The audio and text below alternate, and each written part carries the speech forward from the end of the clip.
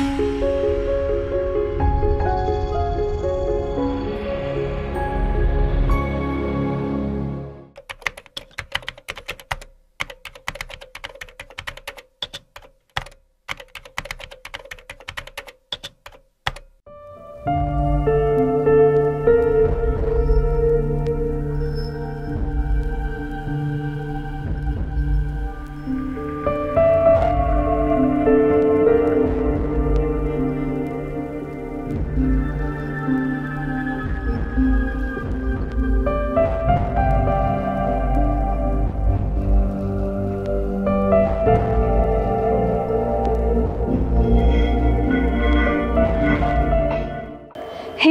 కాంచన షహజహాన్ ముంతాజ్. మన ఇండియాలో చెప్పుకోవడానికి ఎన్నో బ్యూటిఫుల్ లవ్ స్టోరీస్ ఉన్నాయి. అన్నిట్లో కూడా ఏదో ఒక సాక్రిఫైస్ ఏదో ఒక సాడ్ ఎలిమెంట్తో ఎండ్ అయ్యాయి. సో ఇవాళ మన డాక్యుమెంటరీలో స్టోరీస్ ఆఫ్ ఇండియన్ లవ్ మ్యారేజెస్లో నేను మీకు ఒక స్వీట్ కపుల్ని పరిచయం చేయబోతున్నాను. పక్కా తెలంగాణ ఫ్యామిలీలో పుట్టి పెరిగిన ఈ సుదీప్తి లవ్ స్టోరీ ఏంటి? అసలు ఏం జరిగింది? ఇవన్నీ తెలుసుకోవాలంటే ఏం చేయాలి? ఫ్యామిలీ మెంబర్స్ని కలవాలి. ఇంకెందుకు ఆలస్యం? Let's go!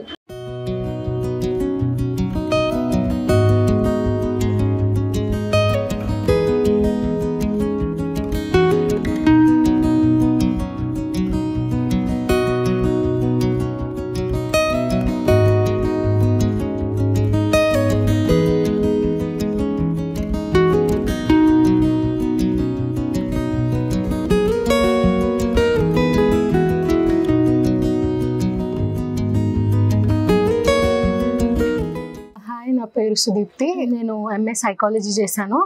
మా మమ్మీ డాడీ ఇద్దరు private employees. I'm from a middle class family ఒక పక్క తెలంగాణ అమ్మాయిని. హాయ్ నేను Shashank and I'm mechanical engineer and ఇప్పుడు నేను ఐమ్ వర్కింగ్ విత్ గూగుల్ చిన్నప్పటి నుంచి మా మా ఫాదర్ చాలా జోవియల్ చాలా కూల్ గోయింగ్ పర్సన్ అనమాట సో మా డాడీతో అసలు ఏం ప్రాబ్లం ఉండేది కాదు. సేమ్ విత్ మై మదర్ కాకపోతే మా మమ్మీ కొన్ని ఇష్యూస్లో స్ట్రిక్ట్ ఉండేది. మా డాడీ వచ్చేసి చాలా కూల్ అనమాట ఒక ఫ్రెండ్ అంటే ఇంకా ఫ్రెండ్ కంటే మించిపోయిన పర్సన్ మా డాడీ డాడీ ఒక ఫ్రెండ్ లాగా కూడా ఉంటుండే. జస్ట్ నాట్ దట్ డాడీ అని ఒక భయం కాదు. కానీ డాడీ ఎలా అంటే ఎక్కడ ఫ్రీగా ఉండాలా ఎక్కడ uh, స్ట్రిక్ట్ ఉండాలో అనేది అతను ఆ రోల్ ప్లే చేస్తుండే. బికాస్ ఆఫ్ విచ్ మేము ఒక మంచి స్టేజ్లో ఉన్నామంటే that's all because of my dad and mom because mom mummy కూడా ఎలా అంటే ఒక ఒక ఫ్రీ స్పేస్ ఇస్తుండే. అంటే ఆ ఫ్రీ స్పేస్ ఇవ్వడం వల్ల మాకు కూడా కంఫర్ట్నెస్ అనేది ఉంటుండే. శశాంక్ నాకు ఎక్కడ కనెక్ట్ అయ్యాడంటే ఓ మ్యారేజ్లో మేమిద్దరం అలా కనెక్ట్ అయ్యామన్నమాట. అది మా కజిన్ మ్యారేజ్లో అయితే మే మేమిద్దరము ఆ మ్యారేజ్లో చూసుకున్నాము. చూసుకున్న తర్వాత ఇంకా శశాంక్ నా నంబర్ అడగడం జరిగింది. ఏదో ఒక కొంచెం చిన్నగా అబ్బాయి ఇంట్రెస్టింగ్గా అనిపించాడు కదా అని నా నంబర్ కూడా షేర్ చేశాను. షేర్ చేసిన తర్వాత నువ్వు బాగున్నావు అది ఇది. మా ఆయన ఫస్ట్ ఐ లైక్ యూ చెప్పాడు. అయితే ఐ లైక్ యూ ఏంటబ్బా అని నేను ఇంకా ఒక క్వశ్చన్ మార్క్ పెట్టాను అనమాట తర్వాత మెల్లిమెల్లిగా యాజ్ డేస్ పాస్ అవును ఐ లవ్ యూ అనే ఒక సెంటెన్స్ వచ్చిందనమాట అతని నుంచి. సరే అని ఇంకా మేమిద్దరం ఎగ్జామ్ అయిపోయాక ఈ పిగ్ మీ అప్ అక్కడ నుంచి మేమిద్దరము ఒక డాబాకి వెళ్ళాము. అక్కడికి వెళ్ళినప్పుడు శశాంక్ నా చేయిలా పట్టుకొని I love you from bottom of my heart అని చెప్పినప్పుడు that vibes really felt me చాలా హార్ట్కి టచింగ్ అనిపించింది. So even I accepted I to lie to love you కానీ అలా బ్లైండ్గా నమ్మలేం కదా అబ్బాయిని. అయితే ఇంకా ఇంకా తొందరలో చెప్పేశాను. ఫస్ట్ uh, నేను దీపును ఎలా ఎలా కలిసానంటే లైక్ నార్మల్గా uh, నేను చూస్తుండే. Uh, సమావ్ ఏదో అంటే లైక్ uh, అంటారు కదా అంటే ఒక ఫైర్ uh, అనేది లైఫ్లో కనెక్ట్ అవుతుందని. లేటర్ నాకు తెలిసింది ఏంటంటే she was my friend's cousin అని. అప్పుడు నేను అక్కడ వెళ్ళాను then I got to see her నేను అప్పుడు చూసి దెన్ ఐ థాట్ అరే how come this girl is here అని then I started showing interest so then later on once i got to know mu- much about her then uh, i started talking and uh, later on uh, numbers exchange చేసుకున్నాము then uh, we started uh, having a conversation uh, but ఆ టైంలో I was like ఏం అర్థం కావలేదు ఏ- ఏం చేస్తున్నాను ఏంది what is my life going where where will I go where will I end up so అది it was clueless so అది ఎలా అంటే జస్ట్ లైక్ వెళ్తున్నాం అంటే వెళ్తున్నాం లైఫ్లో ఒక డెస్టినీ లేదు గోల్ లేదు just that I mean love అంటే లవ్. దట్స్ ఇట్ కానీ ఏం ఏంది నెక్స్ట్ స్టెప్ అనేది తెలియదు. మా రిలేషన్షిప్ అనేది స్ట్రాంగ్ అయిపోయింది. Then we had we build a trust because trust అనేది చాలా ముఖ్యం. బికాస్ లవ్ అంటే జస్ట్ ఒక uh, పేరుకు కాకుండా we need to have a strong relationship that will make us move forward ఎందుకంటే ట్రస్టెడ్ లేకుండా ఏ రిలేషన్షిప్ ఉన్నా అది ఫ్యూచర్గా ఇట్ వోంట్ లాస్ట్ అది ఒక పాయింట్ ఆఫ్ టైం వచ్చిన తర్వాత బ్రేకప్ అవుతూ అయిపోతుంది. మ్యారేజ్ అనేది ఎప్పుడు వచ్చిందంటే ఐ థింక్ ఏమైంది మేము ఇద్దరం నార్మల్గా తిరగడము అన్నీ జరిగాయి. తర్వాత మ్యారేజ్ అనే పాయింట్ ఎక్కడ వచ్చిందంటే మా ఫ్యామిలీకి వచ్చేసరికి ఒక ఇన్సిడెంట్ జరిగింది అనమాట ఏంటంటే ఆ అమ్మాయికి అబ్బాయి ఇష్టం ఇష్టపడింది. కాకపోతే ఇంట్లో ఒప్పుకోలేదు. అయితే ఆ ట్రబుల్ షూట్ నాకు ఎక్కడ వస్తుంది అనేసి నేను లేదు నాకు లవ్ మ్యారేజ్ ఇంట్లో చెప్తే ఒప్పుకోరేమో అని మేము ఇద్దరం ఏమనుకున్నామంటే టైం వచ్చినప్పుడు చెప్దాంలే అని మేము ఇద్దరం కలిసి ఇంకా ఆర్య సమాజ్కి వెళ్ళి ఆర్య సమాజ్లో మ్యారేజ్ చేసుకొని సఖీ టైప్స్లో శశాంక్ వాళ్ళ ఇంట్లో నేను మా ఇంట్లో ఉండడం జరిగింది. మ్యారేజ్ అనే థాట్ యాక్చువల్లీ ఇలా ఏం డిసైడ్ అవ్వలేదు. అంటే మ్యారేజ్ చేసుకుందాం. We never had any plans but all of sudden we thought that అరే ఇలా అయితే అవ్వదు. ఆ ట్రస్ట్ అనేది ఉన్నది. So we don't want to miss each other bonding అనేది ఫామ్ అయింది కాబట్టి we did not want to take a risk so at that point risk అని చెప్పలేను. We did not want to take a chance because risk is not a right word chance తీసుకోలేమని మేము అనుకున్నాం. So and then we thought let's decide and let's go and approach the people who will help us get married so Arya సమాజ్కి వెళ్ళాము then we approach them and we ask them that we want to get married like asking lot of questions అంటే ఎలా అంటే మీరు ఏ background మీరు మీరు ఇద్దరిది same ఫ్యామిలీయా కాదా?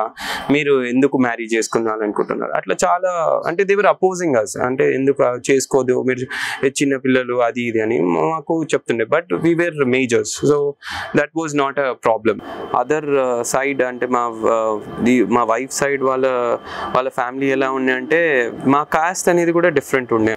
అంటే బేసిక్గా నాకు ఈ క్యాస్ట్ అనేది నచ్చదు. ఎందు- ఎందుకంటే మనం ఎప్పుడైతే ఈ వరల్డ్లోకి వచ్చామో ఈ క్యాస్ట్ అనేది మనం క్రియేట్ చేసుకున్నాం కానీ ఇది వరల్డ్లో ఎగ్జిస్టింగ్ కాదు. జస్ట్ దట్ మనము ఒక రిలీజియన్ ఒక కాస్ట్ అనేది క్రియేట్ చేసుకున్నాం. మనం ఒక హార్ట్ఫుల్గా ఒక హార్ట్ ఒక పర్సన్ని లవ్ చేసామంటే మనం హార్ట్ త్రూ నుంచి లవ్ చేస్తాం.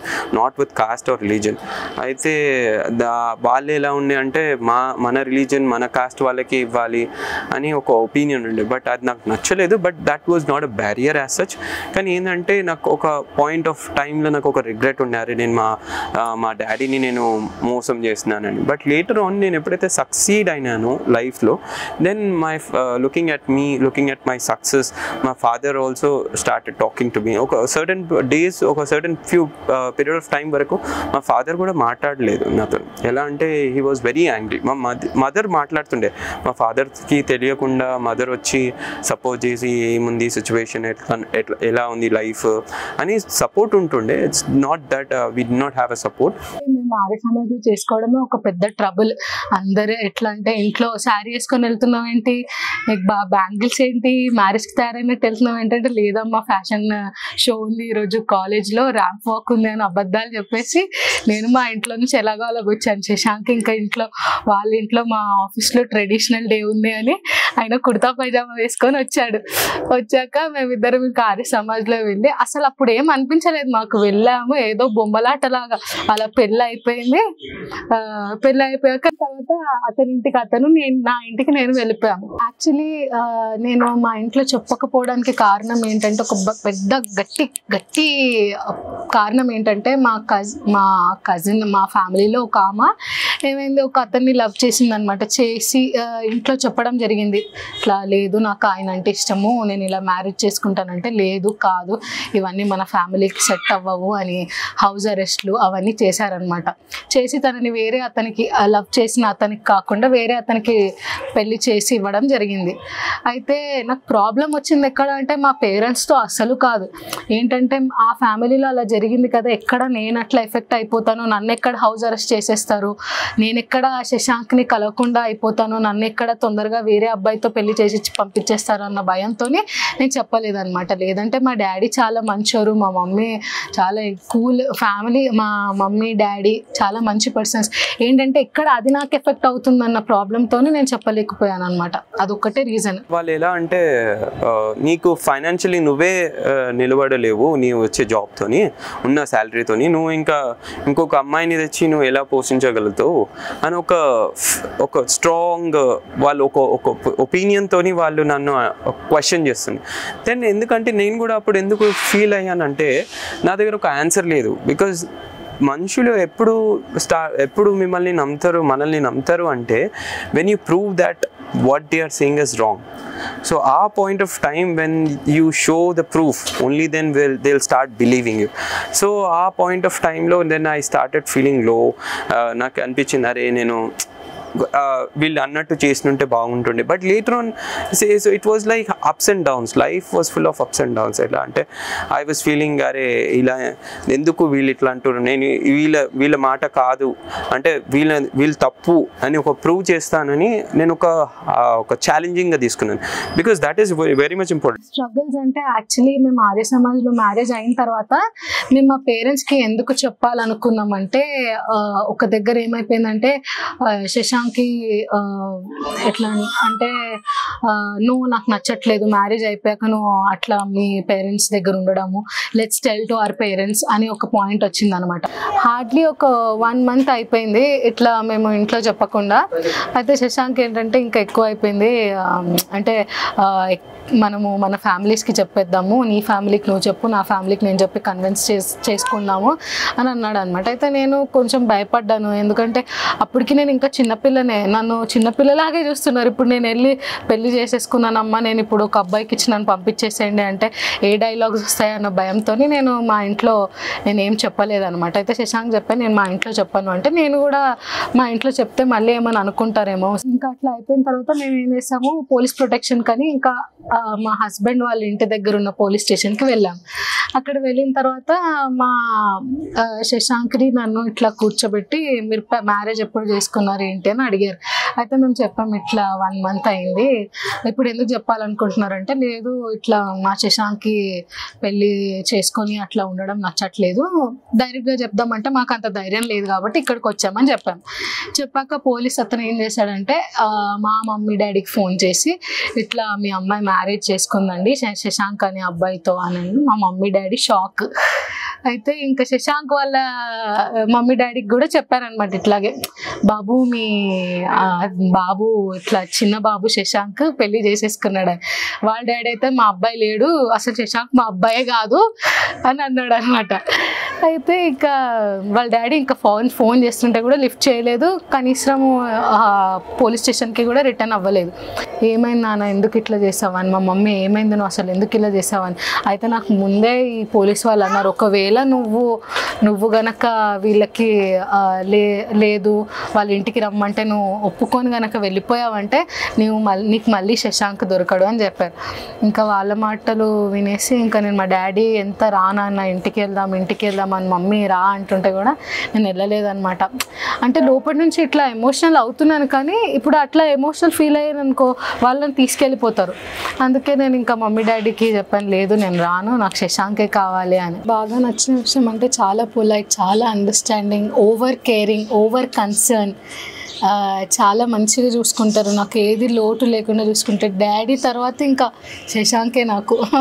బాగా నచ్చింది. తన కేరింగ్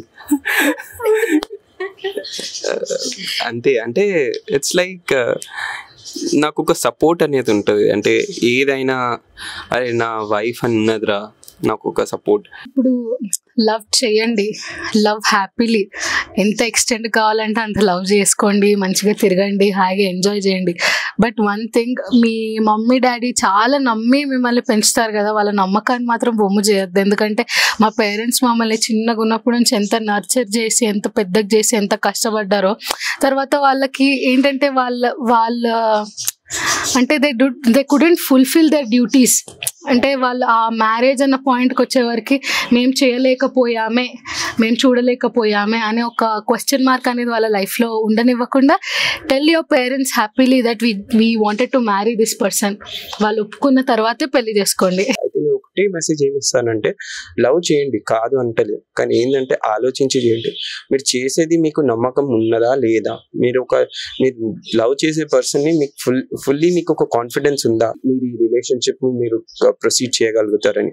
ఆ నమ్మకం ఉంది అక్కడ ట్రస్ట్ ఉంది అని అంటే I say go hundred percent and love the person whom you want cheers caring caring concern supportive interactive happy happy joyful fun fun supportive ఎందుకంటే you are always supportive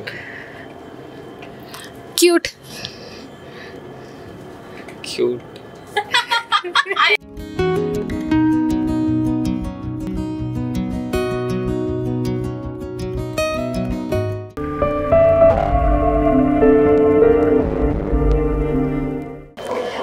కదా such a beautiful love story అండి. I hope మీకు ఈ video నచ్చుంటుంది అనుకుంటున్నాను. మరి next వీడియోలో next beautiful కపుల్తో నేను మీ ముందుకు వచ్చేస్తాను. Until then this is Lucky signing off for today bye